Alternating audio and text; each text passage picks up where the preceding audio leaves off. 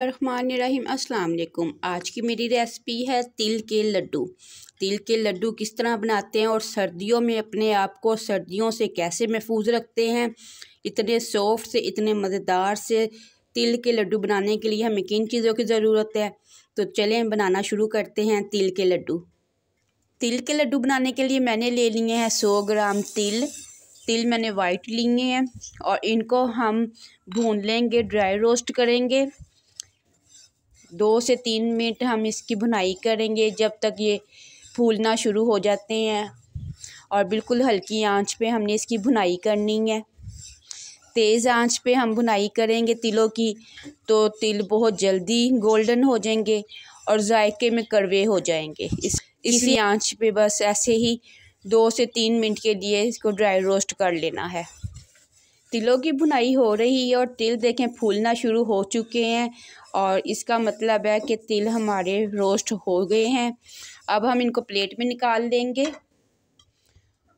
और इनको हम कर लेंगे ठंडा। तिल मैंने प्लेट में निकाल लिए और अब हम इनको ठंडा कर लेंगे।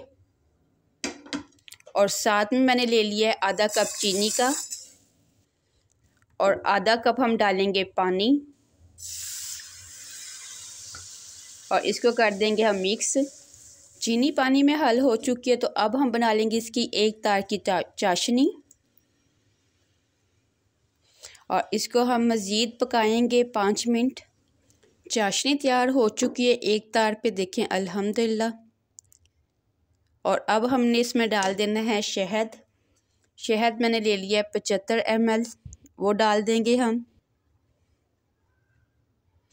शहद मैंने डाल दी है और चाशनी को हम करेंगे ठंडा।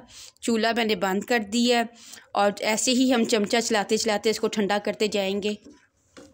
चाशनी ठंडी हो चुकी है तो अब हम इसमें डाल देंगे तिल और इनको हम मिक्स कर देंगे। मिक्स हम तेज़ी से करेंगे।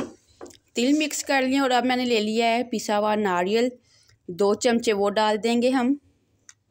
और इसको भी हम मिक्स कर देंगे।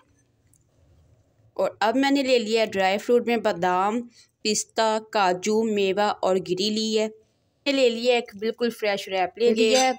उसमें हम रखेंगे एक मेवा। साथ में हम रखेंगे बादाम। पिस्ता रखेंगे हम। और काजू का एक पीस रखेंगे। और साइडों पे हम कर देंगे थोड़ा सा खोपड़ा।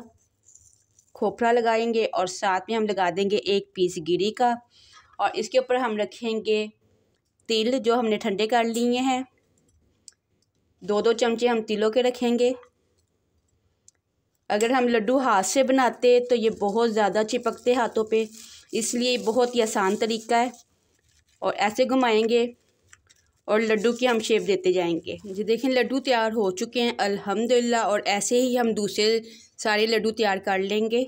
जी तिल के लड्डू तैयार हैं, मज़ेदार से पसंद आए हों तो लाइक कीजिएगा शेयर कीजिएगा, मेरे चैनल को सब्सक्राइब कीजिएगा, मुझे दीजिए इजाज़त। अल्लाह